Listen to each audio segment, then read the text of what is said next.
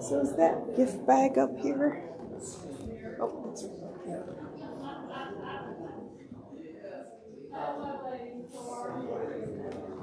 right.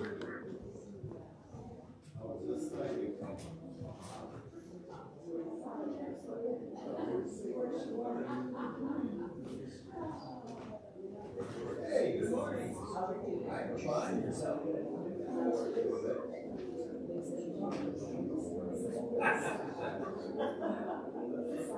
Happy also have this. Those things like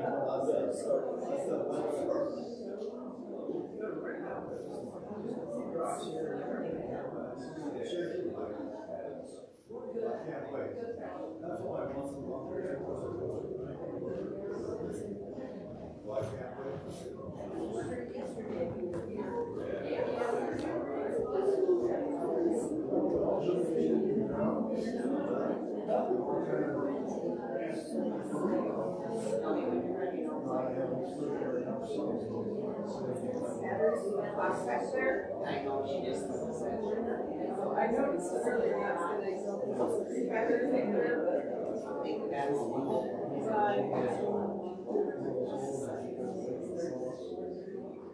think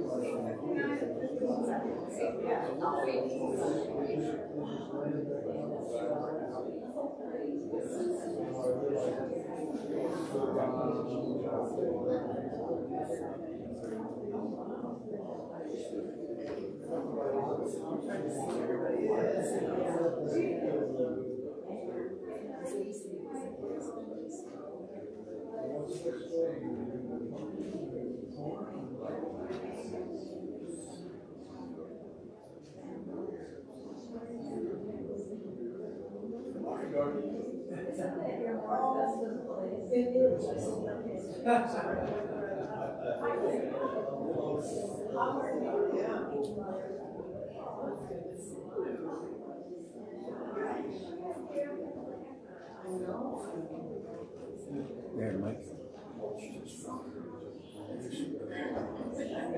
Good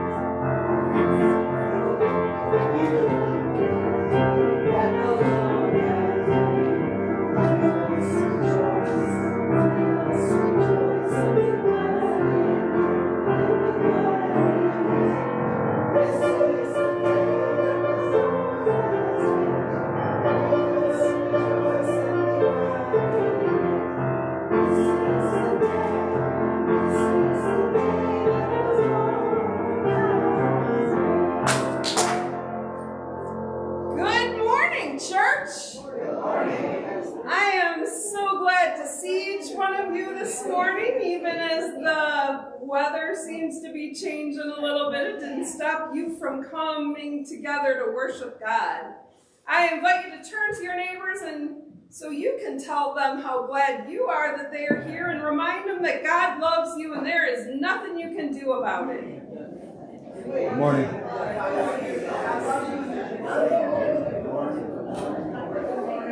Good morning.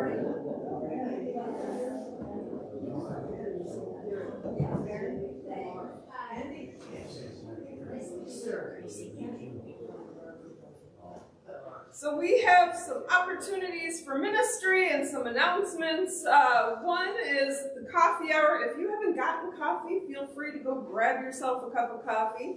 Um, we are bringing in treats, kind of just as people feel like they want to bake or bring something. You know, I didn't have to bake. You pick stuff stuff up at the store.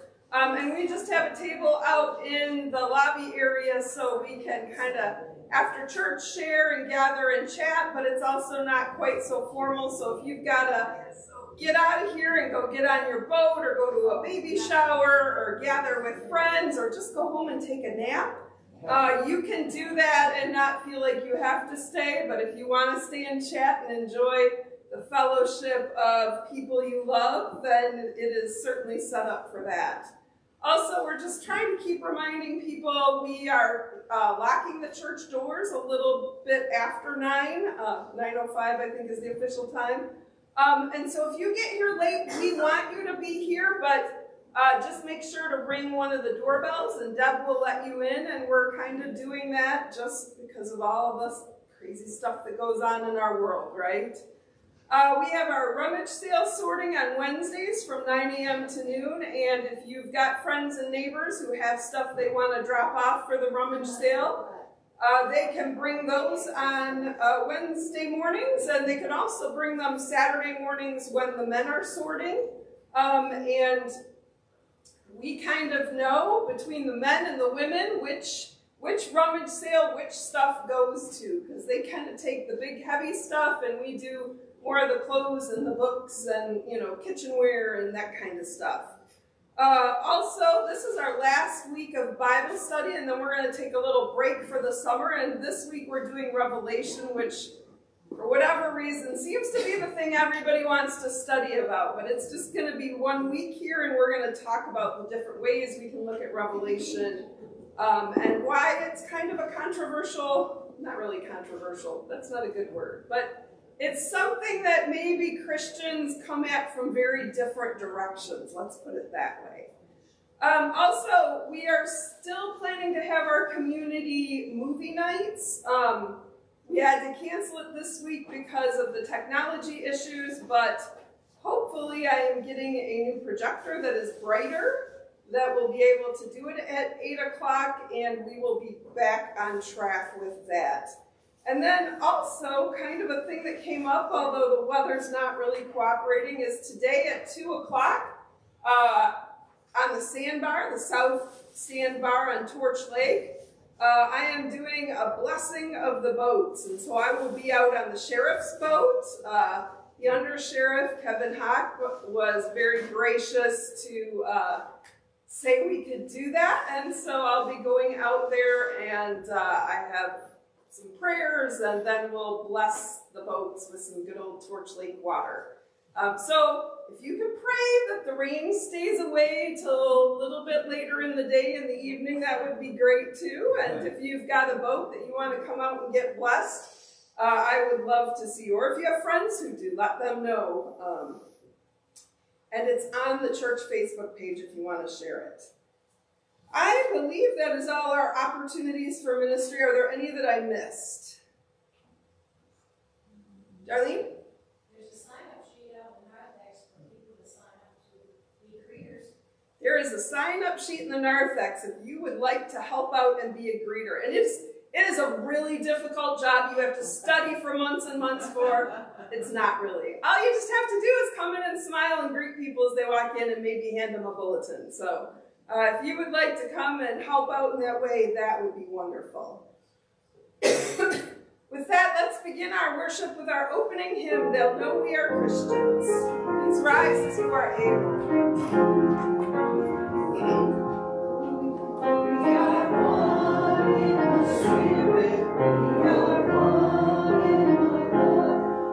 Christians, I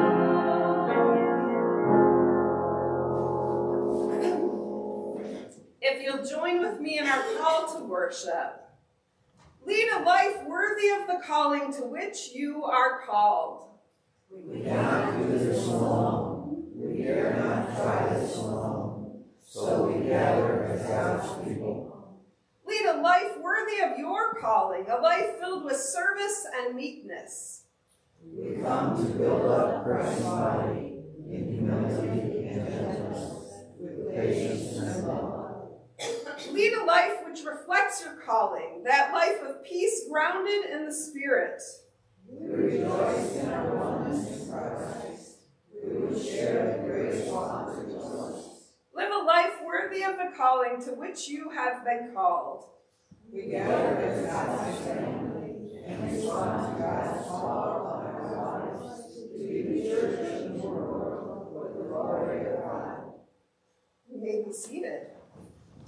It is children's time.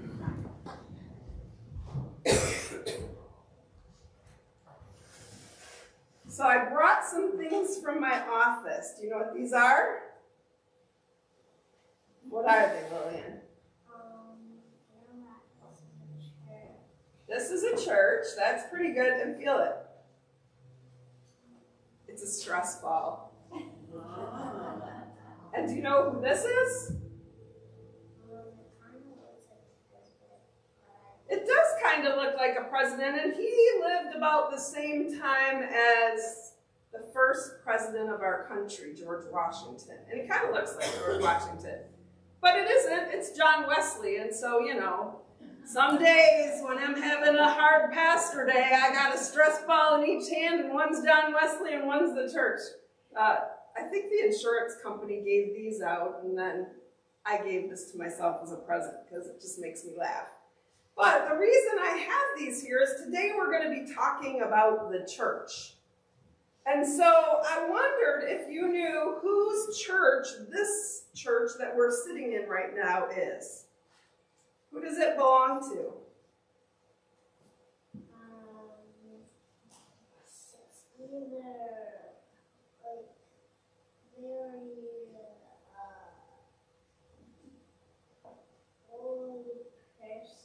A very a very old person or God. That's kind of a good that sounds like kind of a good thing.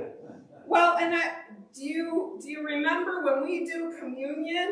You know, I say lots of big words as I ask the Holy Spirit to come and bless the communion elements and help them to make those and us be what God wants us to be in the world. And when I invite people up to the table, do you remember what I say? I can help you if you don't remember. I usually say something like, this isn't my table, and it's not even Alden United Methodist Church's table. It's not even the Methodist Church's table. It's Christ's table, and Christ invites everybody to come and share in Holy Communion, right? And that's kind of what's true of the church. Now, do I go around and say, oh, you should come to my church, right? It kind of makes it sound like it's my church, right? And how many, how many people out there sitting in the pews say that? Oh, you should come to my church, or we're going to have a rummage sale at my church, right? We think that it's our church, and you're perfectly fine saying that. But really, what we need to remember is it's not any of our churches. It's not the trustees' church. Sorry, Dorothy, who's our trustee chair. It's not the ad board's church. Sorry, Lene. She's our ad board chair. It's not the pastor's church. That's for darn tootin'. It's God's church, and it's God's church through Jesus because Jesus made the church. The church was Jesus' idea for us. And what are we, since we don't own the church, it doesn't belong to us, what are we? We are the church. We have a beautiful building here and we have wonderful parking. We're the only place in Alden that has parking, right? I had somebody apologetically when I was here coming to set the PowerPoint up last night saying, is it okay if we park here to go get ice cream? I'm like, absolutely. Uh, but we have a wonderful building here. But this building isn't the church. Even though we call it the church, we say, I'm going to go up to church and uh, go eat some cookies with the ladies at uh, the women's group, or I'm going to go up to church and worship God. But the building isn't the church. We are the church. We are the body of Christ. And so we don't own the church. It doesn't belong to us. We are the church. So it's a kind of an important thing, but it's so confusing because the way we say things about it makes it sound like it belongs to us, right? And we'll get into this in a whole different children's service, but we are to steward the church. We are to take care of the church, which since we are the church, it means we're to take care of each other, right? Yeah. All right. So that sounds so confusing, but hopefully that made it a little clearer for us. Yeah? You look confused still. We'll work on it. We have the next 80 or so years to figure it out, right, Lillian? All right, shall we say the Lord's Prayer and pray the way that Jesus taught us to pray? Saying, Our Father, who art in heaven, hallowed be thy name. Thy kingdom come, thy will be done, on earth as it is in heaven. Give us this day our daily bread, and forgive us our trespasses as we forgive those who trespass against us. And lead us not to temptation, but deliver us from evil. For thine is the kingdom, and the power, and the glory forever. Amen. Amen. You may go sit down. So what prayers and praises are on your hearts this morning, church? Addison is having her 21st birthday today, and Jillian had hers two weeks ago. So Addison and Jillian are, they're not both 21. Yes, they are. Oh, they both are 21. All right. Two weeks ago, and Addison today. So Jillian and Addison had birthdays two weeks ago and today, and so we pray God's blessings on them for the next many, many years, that uh, they would be wonderful years filled of God's blessings. Lord, in your mercy. What other prayers and praises are on your hearts this morning? Darlene? Um, Our grandson's uh, burns are healing pretty well, the doctor's very pleased. So we praise God for that healing of those burns, and we pray that they will heal even better and even more, and that it will be as painless as possible. Lord, in your mercy. What other prayers are on your hearts? Laura? I have a good friend that was just diagnosed with uh, small cell lung cancer. And she's had breast cancer twice, so she knows what it's about. and She just needs some grace for comfort and strength. What's first name? Pam? So prayers for Pam, who's been diagnosed with small cell cancer. And we pray for healing and strength that even as she's consulting with her doctors and starting treatment, that God is at work healing her body and making those cancer cells go away and new and healthy cells grow in their place. Lord, in your mercy. What other prayers and praises are on your hearts? I have praise just that how we packed this church in today. It's nice, and uh, so we have you know probably six people watching at home around. It looks like because I get to watch here on the screen, but they don't always get to see everybody out there. I thought we could swing the camera around and right. real quick. Yeah, I mean, give thanks for our people who worship with us. of show everybody that you know show everybody at home all the people that are here today. Wave to them. Just it was really quick, so don't worry, you're not on TV too long. But people at home don't get to always see all you smiley faces out there. Yeah. All right, so we give thanks for those of us who have come out to worship in person and those who are worshiping with us online.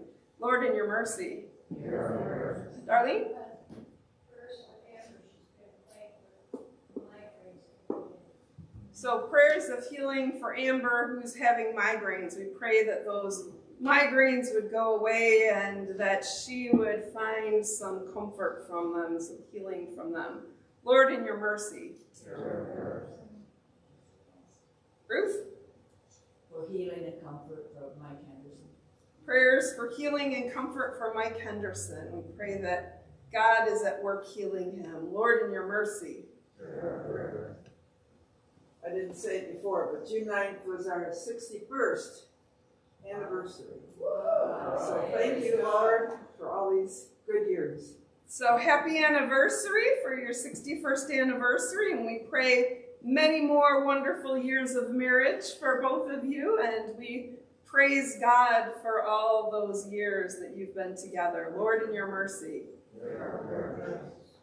What other prayers and praises are on your hearts? Tina?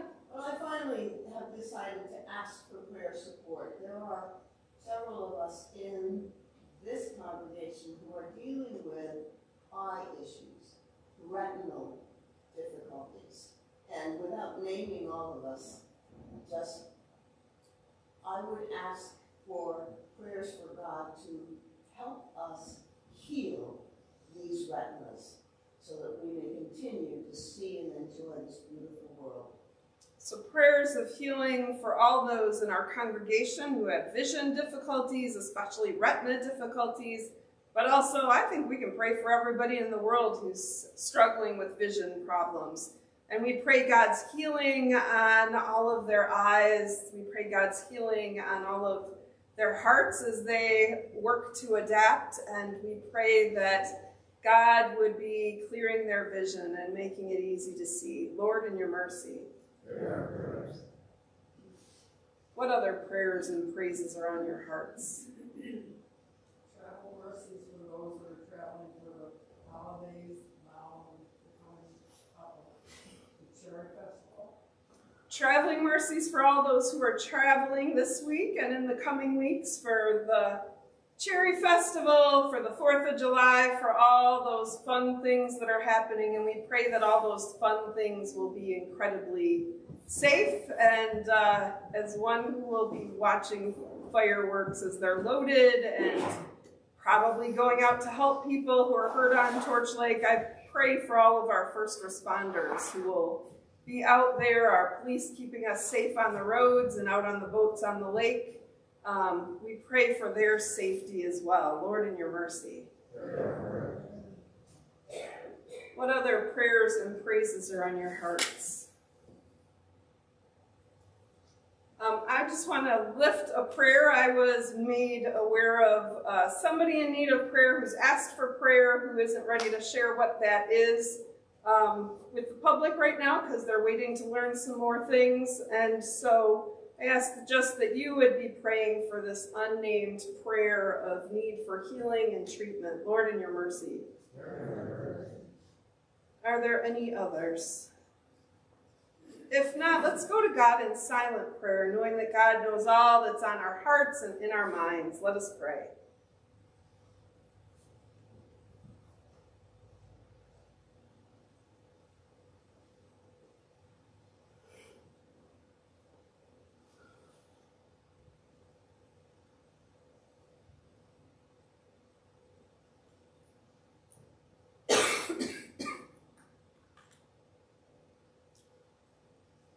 Good and gracious God, we come to you with many requests, many prayers, but also many praises of thanksgiving for how you are at work in the world and in our lives and in our church. God, we pray your healing on those we have named before you and those whose names we hold in our hearts. God, as we pray for healing for people that we know and even people we don't know, God, we pray for healing for our church, healing for our community here in Alden and in Antrim County, wisdom for our leaders in our local community and in our state and in our country and for our leaders across the world. God, we pray your wisdom for them that they might lead in ways that would make this earth a place where you would want to be, a place that is your kingdom here on earth. And God, we pray for all those across our country who are suffering the after effects of the tornadoes and other natural disasters that we've had in the news. We pray your comfort on those across the world who are suffering from famine and from being in war zones, from all the ways that we are broken as human beings. God, we pray your healing over it all. And God, even as we pray for these great big things, God, we pray for those little small things that we might walk closer to you in our daily worship and walk with you, that our church might be closer to how you would want us to be in the world. We ask all these things in Jesus' name. Amen.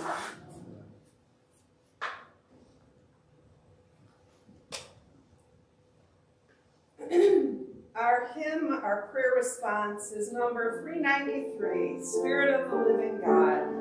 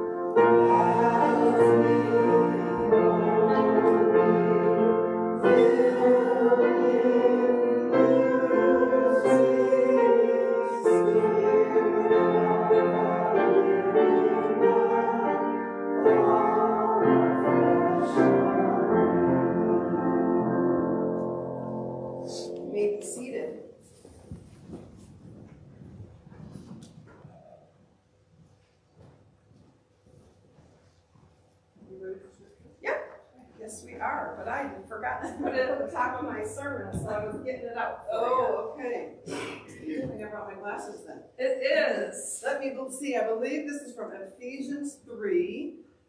verses 10 through 21. His intent was that now, through the church, the manifold wisdom of God should be made known to the rulers and authorities in the heavenly realms, according to his eternal purpose that he accomplished in Christ Jesus our Lord. In him, and through faith in him, we may approach God with freedom and confidence.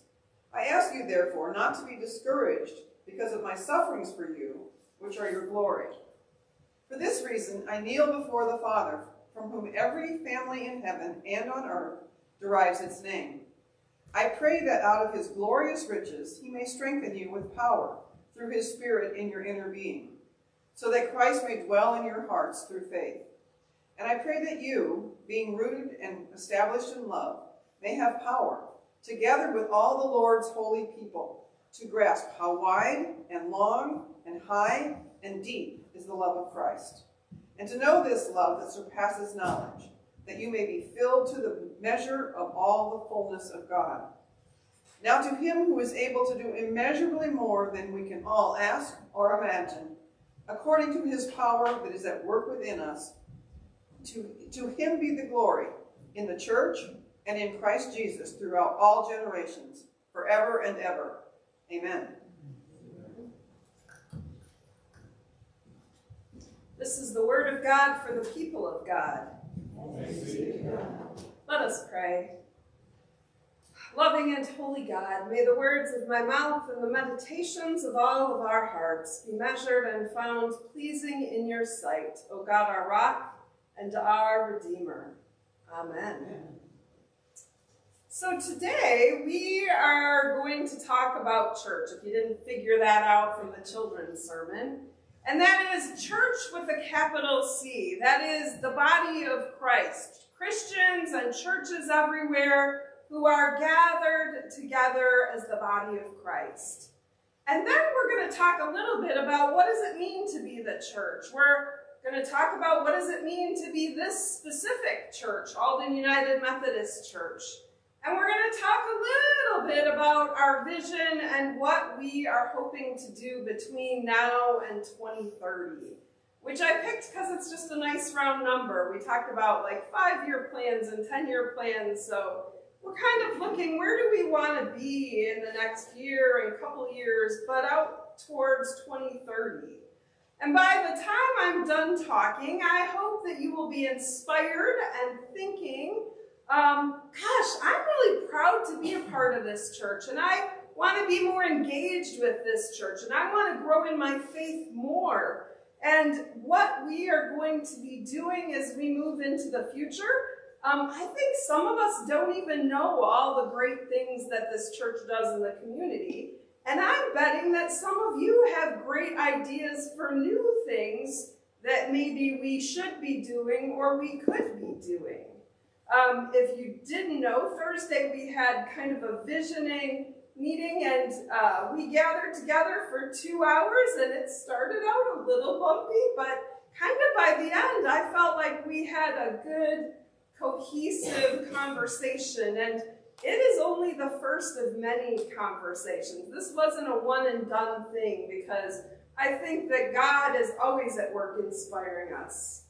Now, we're going to go back to sort of the beginning of that meeting where it was a little depressing because according to a recent American Enterprise Institute study in partnership with the University of Chicago, they found that Americans are 22% less involved in church after COVID than they were before COVID. So that's church-going Americans. This isn't even talking about the people who don't go to church. And that's about a quarter of the people who were involved in church before COVID are just less involved in church nowadays. And there's a lot of people, I think, out in the world wondering, why do I need a church? Why is church important? And the thing that they found is the people who are most likely to be leaving the church. Do you want to guess what that group is? Young people, people under 30, you're right on. And so the group has that has the largest decline in church attendance is people under 30. But that age group, here's the good news, is still about 40% of the under 30 crowd who report they actively attend church every week, which is kind of fascinating because now what is considered regular church attendance is one time a month. Which every time I tell church people that, they're like, what? I thought it was every week you have to be in church. But the people who compile statistics, when they are asking about regular church membership, it is once a month, 12 times a year, which kind of blows my mind too. And so um, there are 60% of the people in the world who say they are church people who are not involved that much because that 40% group of the under 30s are just the ones who are very involved in church. And those 60% who don't, don't go very much, they're, they're still not going. But that 40% who were regular church attenders in the under 30 crowd, that number's been in decline since COVID. And there's another study done by Gallup that came out last December that said 58% of Americans seldom or never go to church. Maybe Christmas and Easter, and that's it. And the Pew Center reported in December of 2021 that while 63% of Americans claim to be Christians, a third of that 63% never go to church. And at least for some people, the church has become less important. And I think that maybe we've forgotten why the church matters. And I want us to know why the church matters and what was Jesus' picture for the church and what is God calling us to do and to be as a congregation. So in 2016, there was a study that was conducted and 66% of youth and young adults stopped going to church when they went to college. Now that's not new, right? I went to college, oh, probably what, 35 years ago here now? And um, I went to Adrian College, and Brother Bob, who was sitting there at our freshman orientation, he told us at freshman orientation that he knew a lot of us, even if we had been regular church attenders up to this point, that, that once we got into college and out from under mom and dad's thumbs, that we would probably worship at St. Mattress on Sunday mornings instead of the college chapel. And honestly, here I am up here as a pastor. That was completely true for me for all four years of college. I don't think I once went to chapel on Sunday mornings when I was in college. Now, I did go to church when I went home to visit my family, but I never went to the college chapel. And I went to a Methodist college, even. And um, I know that you guys know this is true because I have had conversations with you, and it was brought up in our visioning thing that a lot of us have kids and grandkids particularly those who are going off to college age who aren't going to church or who have said, you know, I don't really see a need of why I need to go to church, right? And the, they figured out that there were four main reasons why this demographic group started stopped going to church. The first one they found is kind of the obvious one. They found that, quote, my parents weren't there to make me go to church anymore. Pretty obvious, right? Mom and dad aren't there to wake me up, make me get dressed, and go to church. The second one they gave is that church members seem really hypocritical. That one kind of hurts, doesn't it? and so what young adults value, but I, I don't even think it's young adults, I think what all of us value, what everybody values, is authenticity that we are actually trying to live out what we believe. And I have to tell you, you guys, some of you've mentioned the sign out front that I put, um, be like Jesus, take a nap on a boat. Well, I'm hoping one day to get around to changing it again, and the one I'm going to put next is be like Jesus, challenge the hypocrites, which we'll see how that one goes over. It may not go over as well as taking naps on boats, but we'll see. Um, but I think it's true. We all want people to be authentic, right? We don't want the shiny highness, hiney society blowing sunshine in our ears when things are awful in the world or in our lives, right? Here, here. And so that seems a pretty legitimate reason for to me. The third reason they said is I don't feel connected with the people in my church. And since COVID, people have drifted away from the people in our church, if we haven't stayed connected through online worship or phone calls to each other or checking in with each other or maybe online Bible study or being in worship in person, we can kind of drift and kind of feel disconnected from them and far from our church friends and maybe even far from God. The fourth reason that was given by these young adults who stopped going to church is I disagreed with my church on social issues. And those young adults who were polled said, I most often disagreed with my church on issues of gender, race, and same-sex marriage. Which that's a whole nother conversation. And if you've been watching anything about the Methodist Church, you also know that is something that we are wrestling with, right? Um, but we're not even going to start to go down that path because that is a whole bigger conversation. But we will have that conversation in the coming weeks and months as we lead up to General Conference, where that is going to be a forefront um, in our bigger church.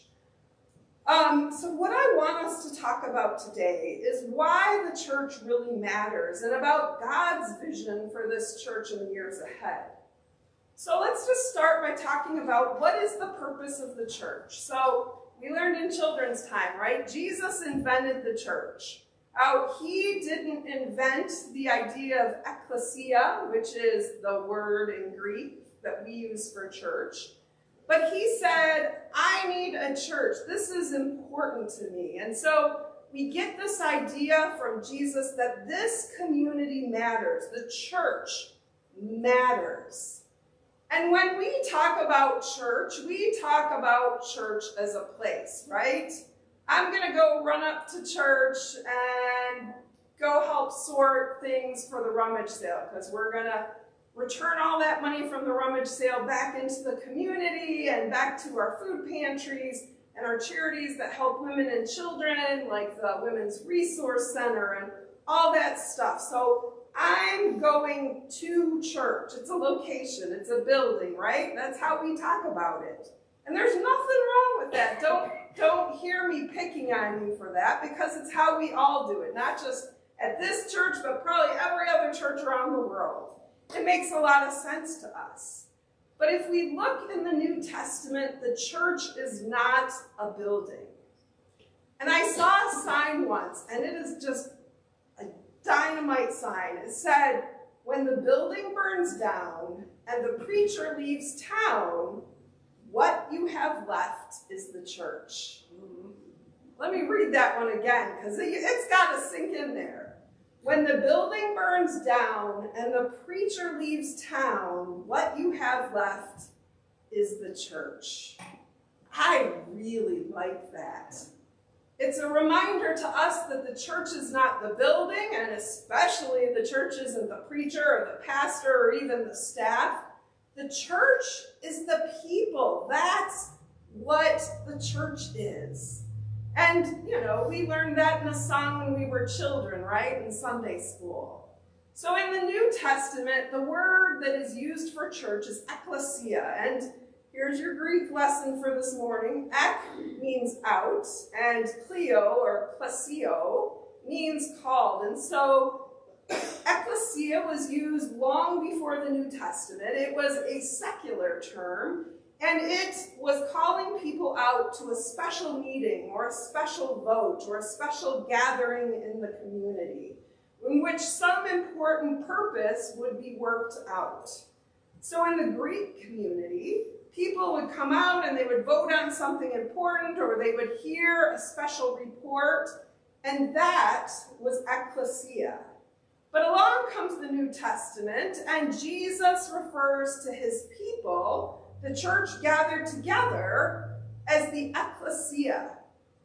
And we're going to kind of cover some scriptures fleshing that out a little bit. But when we hear people say all the time how much they love Jesus, not the church, right? How many of you have had friends or family or somebody say that? I love Jesus, but not the church, right? Or I can be, what do they say, spiritual, but not religious right? We've all heard that. I see lots of heads nodding. But I think we read the scriptures and we see Jesus saying, now wait a minute, the church really matters to me. It is church and it is his idea. It wasn't a pastor's idea or even the disciples' idea. The church was Jesus' idea. Jesus thought that it was important. So if you love Jesus, you should love the church too. Although, granted, the church is not always great at being what Jesus wants us to be. Can I get an amen to that?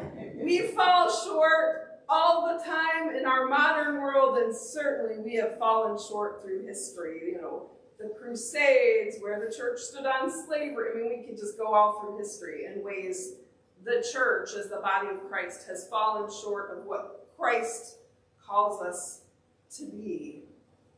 But Jesus thought it was important. And so when we were reading what we are reading in the Bible, when we are reading the Bible, the Bible was meant for these churches. And it is written from churches to churches. It was meant for the body of Christ to be in community, that we need other people. And Faith is not a solo sport. Faith is meant to be lived out in community and by a community of people. It wasn't meant to be something we do alone. Faith is a team sport, if you will. And the writer of the letter to the Hebrews in chapter 10 says, Do not neglect to meet together, as is the habit of some, but encouraging one another, and all the more as you see the day of Christ approaching. And I think this is an important thing in the New Testament, this idea of community, that we bear each other's burdens, that we lift each other up, that we bless one another. And we, it's constantly changing, right? Another person walks in the door of the church, you automatically become a we. You are part of us. We, I, it sounds really bad, and maybe this isn't something I should be saying from the pulpit, but I kind of feel like we're part, we're kind of like the mob. Once you're part of us, you ain't ever getting out because we're going to love on you to your dying day, right? granted, we have a much better part of that dying day part than the mom, but but once you're a part of us, we want you to be part of us, and we want to reflect our love in how we treat you and how we gather together. And so, um, I personally, I need to be with other Christians. Other Christians, they encourage me, they bless me, they challenge me sometimes. Uh, sometimes they challenge me kind of like Paul's thorn in the side, and sometimes they challenge me by saying something that I had never thought about before. They look at the scriptures in a way that I had never considered. So I love being in community with people of faith and with Christians. And so I come here each week to get my God fix, if you will. And this time in worship, it centers me and refills my cup and refocuses me for the week ahead. And it says that God inhabits or dwells in the praises of his people. I need to be together praising God with other people. I need to serve with other people. I need all those things. I need the church, and it helps me. It helps me to be a better mom, and it helps me to be a better wife, and it helps me to be just a better all around human being when I'm engaged in the church. And don't think this is some holier than thou pastor thing. I mean, you guys know me well enough. I am uh-huh. so not a holier than thou pastor thing. I have a potty mouth. I screw up more than on occasion. I screw up all the time. I am nowhere near perfect, and sometimes I'm not even near mediocre, right? But when I, and I've had lots of times in my life when I haven't been going to church, when I haven't been engaged in church. I mean, I just told you four years of my life when I was worshiping at St. Mattress, right? But when I am in and engaged in the church, which means participating, I am just a better person, a better human being, the person that I believe God wants me to be. And so in Matthew 16, 16, Jesus, at, Jesus asks Peter a question. He says, Who do you say that I am? And Peter replies, You are the Christ, the Son of the living God. Then he says, And I tell you, you are Peter, and on this rock I will build my church, and the gates of Hades will not prevail against it.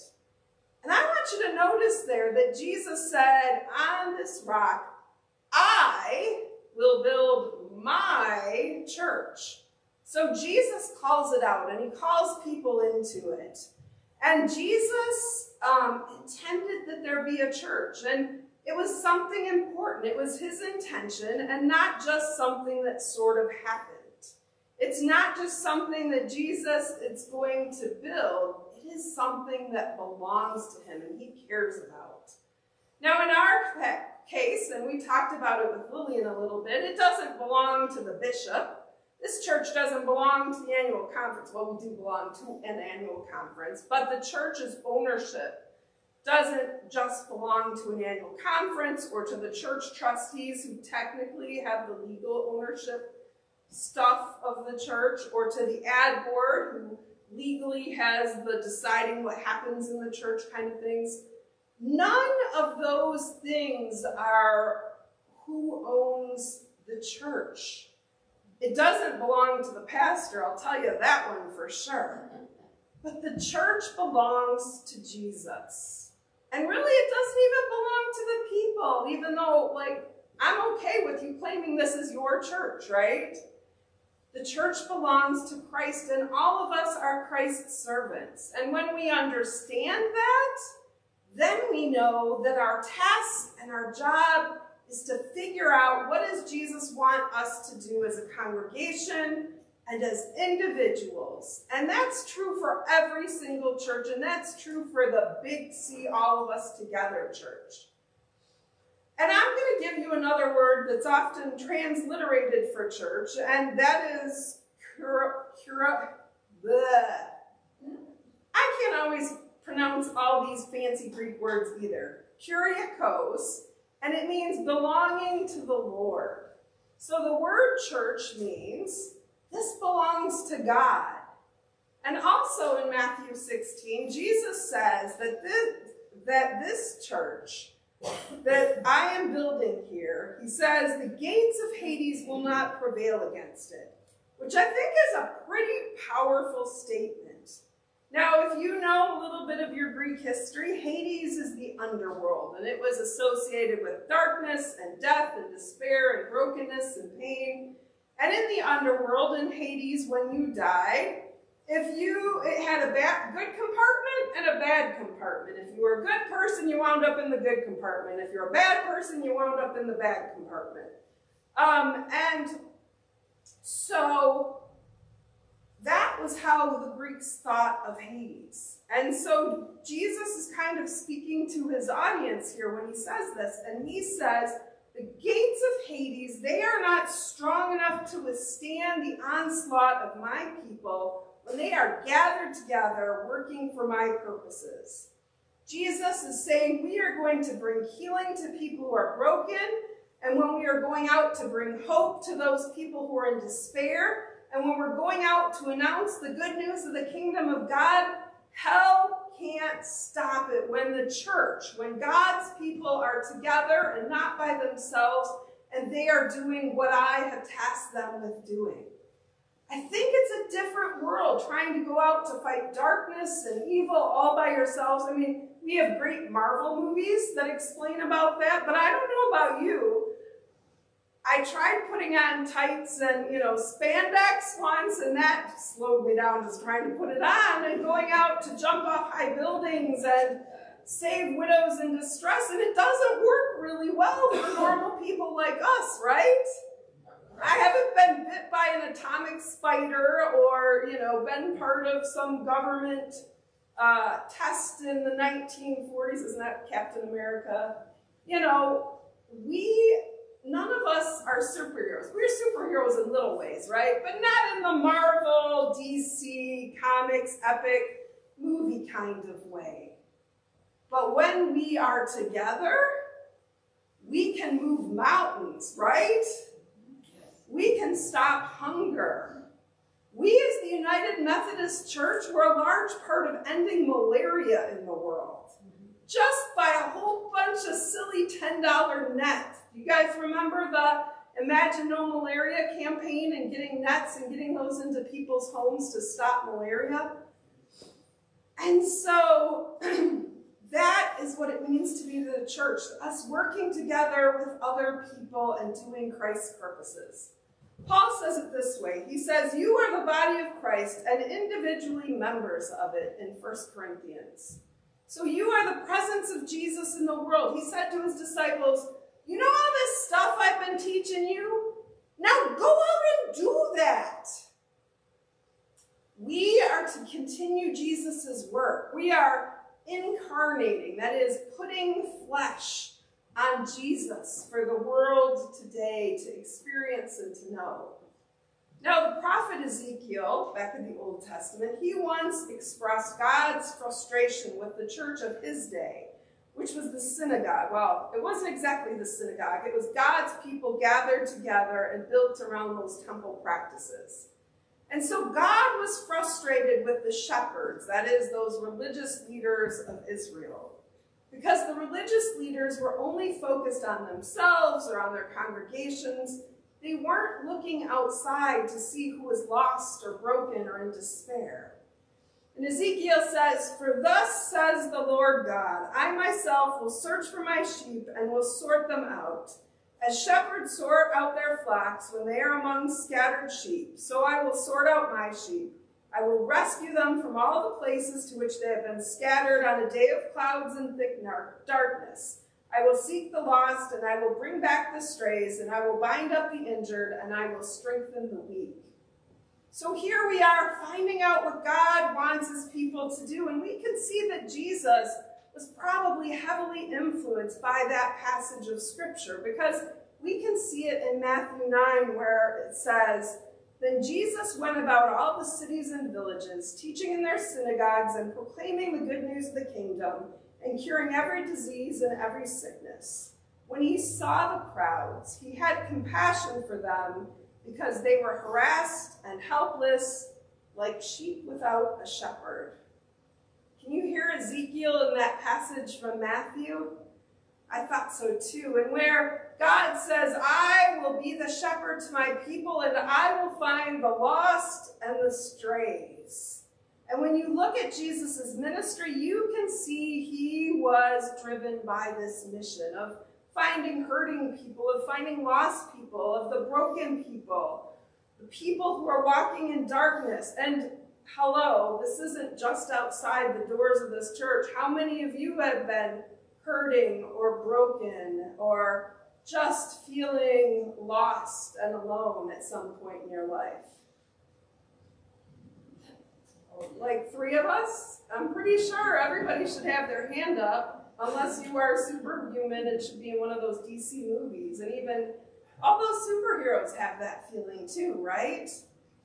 So it isn't just people outside. We and our flock too are struggling and broken. And usually that comes for a season, right? We have a rough go of it. We lose our spouse or a parent or we have parts of our body that don't work the way they worked when we were 19. Imagine that. And so maybe we need a little help from our friends to get through. A little, hey, you've got this. And most importantly, God's got this. And we will be there to be your soft spot to land as the church.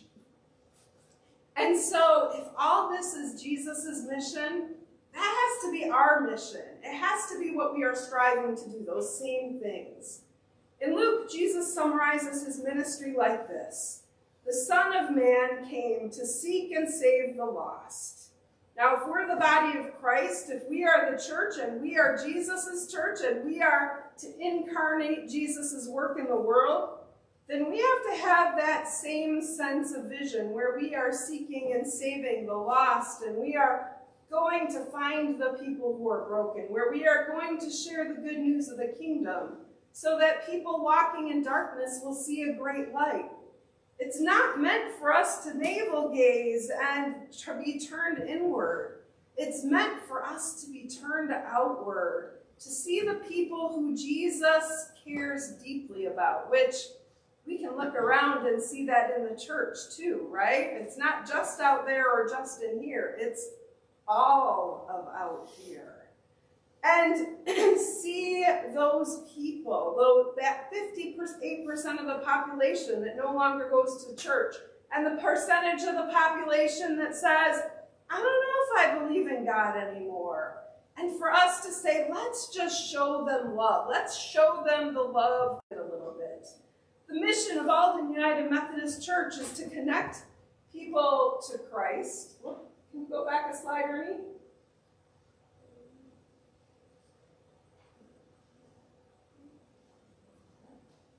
There we go. The mission of Alden Community United Methodist Church is to connect people to Christ, nurture them to spiritual maturity, and prepare them to go into the world to bear fruit and set a Christian example. And we even go on to say how we're going to do it. We say we will accomplish this by celebrating with heartfelt worship to God, pursuing individual um, Christ-centered growth, being a caring community for all, and using our time, talents, and gifts for God's purpose, and sharing the Word of God. Now, when we had our gathering on Thursday, and we're going to talk more about this in more sermons, what we came up with, and we're going to have more conversations too. But what we came to at the end is we talked about wanting that Alden and the world would look more like the kingdom of God, more like the world how God created it, where it was perfect and there was love and there wasn't all the brokenness and harm and hurt in the world. And so we're going to make Alden and the world look more by the kingdom, like the kingdom of God, by what we're doing both as individual people who follow Christ and as the church of Christ in the world. Our purpose is to build a community where non-religious and marginally religious people, and even people who've been religious all their lives, are becoming deeply committed Christians, along with the rest of us, to live with sacrificial love and to care for the people in our community. We talk a lot about being Christ's hand and feet, and I know uh, we're kind of getting to the end of time here, so I'm going to wind it up, even though I've got more that we're going to talk about in the coming weeks. But instead of me telling you, I thought maybe some of you could come up with all the ways we are out in the community helping the hurting and those who are struggling or maybe just need a little bit of help. Because when I started listing those off, there's a lot of people who don't know all the things that Alden does in our community. So can you guys name some of them? I can fill in the, blanks. Mike? I would like to, uh, thank the community for, uh, challenging me, uh, in ways I think they have, and it actually, uh, it's made me a very strong person, so I just wanted to do that. Well, thank you. Uh, pray God's blessing on you and hope that you'll be back to be more about being that love in the world. What other things? The little free food pantry out front. Our neighbors who are maybe are running short on their paycheck can go and stop and grab some food 24-7, right? They don't have to wait for the food pantry hours to pick it up. Which kind of leads into the next thing. We support the food pantry in Rapid City, so if our neighbors need to go and get like a whole grocery load to get them through the week, they can go and do that. And we have another feeding ministry. Does anybody know? The voucher system. The voucher system, yeah, that uh, we have for people who, because the food pantry has kind of shelf stable stuff, and they do have some meat and, and dairy and that kind of stuff now as they get it in. But sometimes there's just that stuff at the food pantry that people need, um, or it's kind of that in between, and they've got more that can to, that they need to feed their family that can come from our little free food pantry. We give people a voucher to Village Market to go get the things that they need. What other ways are we helping people in our community? Rummage sale. The rummage sale.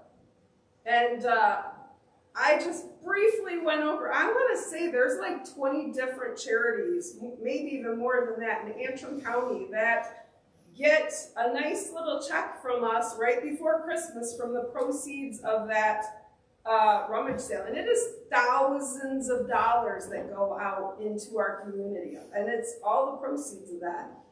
Uh, what else? We sponsor the daycare. We sponsor the daycare. And I know pretty much all of you do not have little kids at home in your households. You're, you know, if you do, it's grandchildren and great-grandchildren visiting. But it's really hard to find good and affordable child care. Heck, it's even hard to find expensive good child care right now in Antrim County. It is a huge need in our community that we are meeting, and um, it's a place and time for us to influence those little lives. What else? Something a lot of you may not know about is I have a checkbook, as it were. It's the Community Needs Fund. And so when our neighbors maybe are going to get their lights shut off because they lost their job or whatever's going on, or maybe I had somebody I paid to get their tooth pulled because they didn't have the money to do it and they had an infected tooth, and um, that we I am able, because we have people who donate to that, and some of the money from the rummage sale goes to that, where I can pay consumers power and make sure that this family is going to have heat on to keep their kids warm. Tina? And response to the student aid. Yeah, we have a student aid. We have five students every year who get scholarship money to go to college. Um, and that has been going on for years. So there are a lot of people who've gone to college with the help of Alden United Methodist. In fact, I have three granddaughters who have benefited from it. And I also benefited from it for one of my, my uh, terms in college. Awesome. And so that's the gift that keeps on giving, right? We help people to go to college and be educated, and then they use those gifts for the world. What else? Well, I was laid up with my I had people call, I had people come in, I had food brought so they all helped me get better. Yeah. So people will go and bring in food and check on you and make sure you're all right. And uh, you also have a way to get in and out of your house a little easier, right, Charlotte? Yeah, we built a ramp. All the time. And yeah, Charlotte, every time I bring it up, Charlotte's like, and I use it all the time. It's easier than steps. And you know, that was people working together. Lillian? Um, praise for doctors who is helping. Oh, praise for doctors who are helping. All right. So, are there any others? Actually, I know there's a lot more stuff, but where my husband, he's allowed to get away with it. He was looking at his watch. So, I'm going to wind this up and we're going to have some more conversations about how we can have the vision of who we are going to be in the church for the world in Alden. But will you pray with me? Loving God, we pray that even as we uh, give thanks and praise to you for all the ministries that Alden is able to do, God, we pray that you might guide us and lead us in all the ways that we can be your people in the world, that we can be your church in the world, that we can make Alden in the world look more like the kingdom of God, more like the world as Jesus told us it should be and as you imagined it in creation. God, we ask that you would go with each one of us as we walk out these doors into our mission field, that you would use us and be with us, that you would comfort and fill us up uh, even as we gather together to praise you, and as we gather together to lift and nurture each other who are here in our midst and who are joining us from all the places that people come to worship with us. We ask all these things in Jesus' name. Amen. All right, it is time for us to share with God some of the gifts that God has given us and return them to God to do God's work in the world through our morning offering. Praise God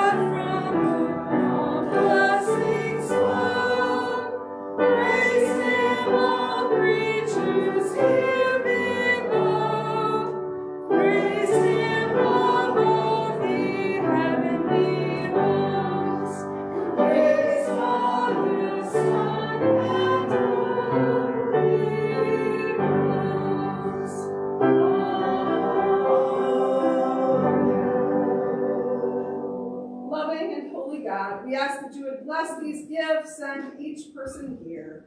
Use these gifts in us to be what you created in the world, the church made of your love and your hope and your peace and your joy. In Jesus' name we pray. Amen.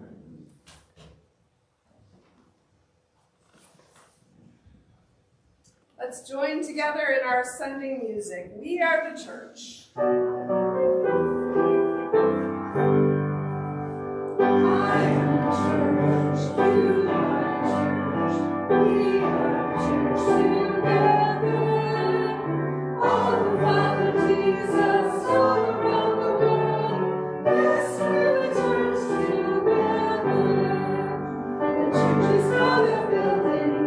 Building, the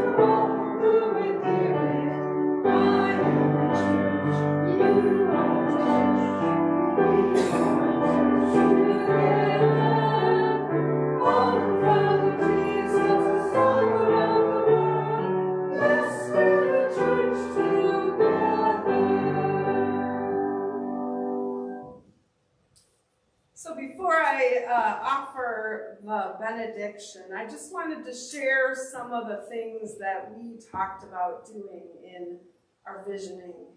We talked about closing some gaps that we can see. One was closing the spiritual gap by drawing people to Christ and ever growing deeper in their faith, both those of us who are here and those of us who might come.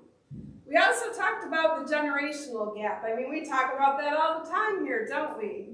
Um, and so that we want to reach an increasing number of younger people, young adults, older adults, and children too. Um, and also to fill that kindness and justice gap, you know, where uh, we would inspire people and ourselves to do justice and love kindness and walk humbly with God, to share that love and kindness with the community, for all the ways that we help in our community to um, help people, which kind of rolls into this opportunity gap of addressing these real human needs that we've talked about in our community of families and children in poverty and our elderly who are often living in poverty or who are lonely and how we can meet those needs and how we're already meeting some of those needs. And so those are some of the things that we're going to talk about. And we talked some about how we have a lot of grandparents raising grandchildren in our community, and that might be an opportunity for us. Um, but I just kind of, for those of you who weren't here, give you sort of a direction of where we're going to be going as we talk about this. and so as you go into the coming week, may your roots go down deep into the soil of God's marvelous love. And may you come to know how wide, how long, how high, and how deep God's love for you really is. All glory to God who is able to accomplish infinitely more than we would ever dare to ask or imagine. Go with God. And all God's people said, Amen. Amen.